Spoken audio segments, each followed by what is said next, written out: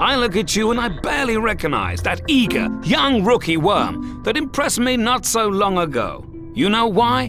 Because it wasn't you. Sorry, I was thinking of someone else. Right, more aquatic terror, methinks. To work, sir!